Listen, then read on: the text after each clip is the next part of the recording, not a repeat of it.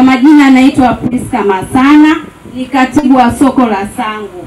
Naomba upite soko la Sangu uone hali tulionayo. Tumejaliwa nyasi, wateja wafiki tuna hali ngumu. Tunaomba mtusaidie. Maeneo yetu tulioambiwa tutahamishiwa yamejaa watu, na nyuma ya hao watu kuna ukingo wa viongozi ambao wamewabeba na tukisema tuje sisi huku juu tunazuiliwa, tunaambiwa nyie ndio mnatakiwa mkae ili soko lijengwe ili watakapokuja wa mradi wawakute, lakini hali yetu ni mbaya kiuchumi na kibiashara, na kuomba mtusaidie na sisi mtupatie maeneo tufanye biashara. Soko lile limeanzishwa tangu mwaka elfu mbili na saba.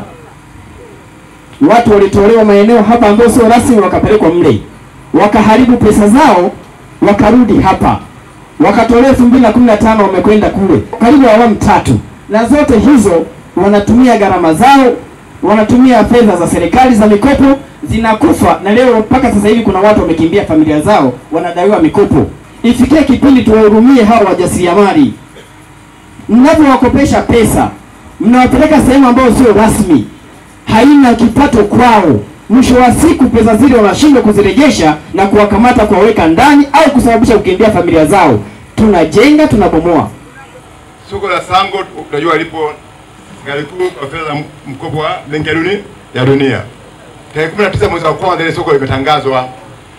Soko la Sango, stendi pale mnaita kwa Walowasa, stendi ya Zongomela, soko la Zongomela na machinga Zongomela. Hayo ndio imetangazwa kwenye zabuni tarehe 19 Januari. Ndio kwenye magazeti yote imetanga imetangazwa. Tunategemea tukienda vizuri sababu ile ni sabuni ya kimataifa, kila mtu anaomba dunia nzima. Tukienda vizuri mwezi wa nne ujenzi utaanza.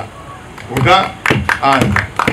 Na ni soko kubwa na kila mtu atakaa kwenye eneo lake. Lakini niseme tu Mheshimiwa mkuu wa wilaya, hii eneo la Phantom ni mahususi kwa wale watu wa sa wa Sango. Mimi naomba tarudi nikae na mtaji wa kata na uongozi wa kata kuhakikisha kila mtu wa Sango ana eneo fando fantom, Sababu ilikuwa design kwa ajili ya watu wa Sango.